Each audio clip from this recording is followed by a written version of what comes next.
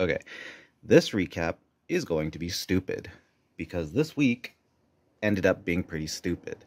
My computer, at some point in the week, just decided that it no longer wishes to recognize that this has been a device that's been plugged in for the past like six or so months. And it just won't give me audio. So if it seems like the sections that I chose to recap start at a weird point, like speaking or just sound wise, um, that's because I can't hear what I'm editing.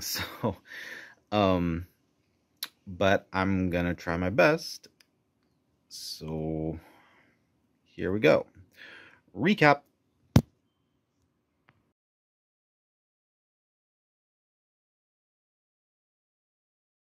Ugh.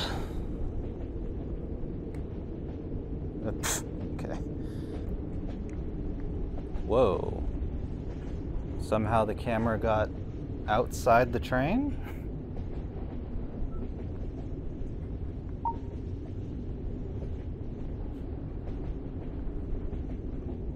Okay, well, let's ruin that glitch by having it come back to me.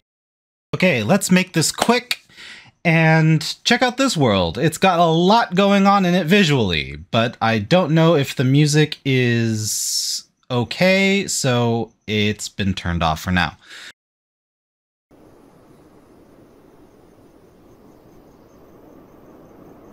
Uh-huh. Movement!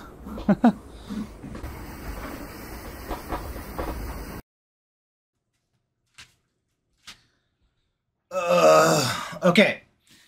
I just want to try to get into this and get out of it as fast as I can without going into some sort of a rant. The cadence to which the nail gun goes off sounds a lot like um, John Cena's theme or whatever the actual song is called. Da da da da. Then I jump into Unity and it starts to give me a. And so, as it was. Alright, I've just about lost my patience with my computer today. I no longer want to try to fight whatever shoves at me. I just want to turn it off and just retire to my room for the rest of the day. So, I'm trying to edit a little thing because I can't figure out how to do it in un, uh, in Unity without having it mess up the texture material. So when in doubt, blend it out, and then my audio cuts out, and I get this lovely little pop-up that comes up. So what's happening is this little dongle that sends information to my headphones.